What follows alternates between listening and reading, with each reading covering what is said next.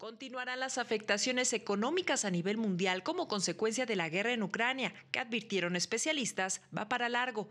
Durante el programa En el Círculo de Justicia TV, indicaron que uno de los mayores daños ha sido a las cadenas de suministro alimentarias apenas en recuperación tras la pandemia por COVID-19, al ser Ucrania el principal productor de granos como maíz, trigo y soya. Es que hoy estamos viviendo los efectos de una guerra en el precio final de cualquier tipo de producto.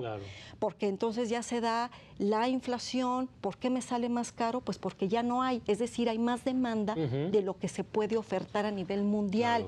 Por otra parte, Rusia es actor clave en la proveeduría de metales y energéticos y además enfrenta sanciones económicas a sus exportaciones, impactando en la industria automotriz con la escasez de acero y en los precios de la gasolina a nivel mundial, producto que ha sido subsidiado como en el caso de México. Bueno, el dinero que estás destinando a subsidiar la gasolina para que la familia Pérez eh, no sienta Ucrania en el bolsillo, pues de algún lugar tenemos que dejar de pagar. En materia geopolítica señalaron que se prepara una nueva configuración con el ingreso de Ucrania, Finlandia y Suecia a la OTAN, lo que garantiza la protección del organismo en casi cualquier invasión. Poder Informativo, Lorena Sánchez Cabrera.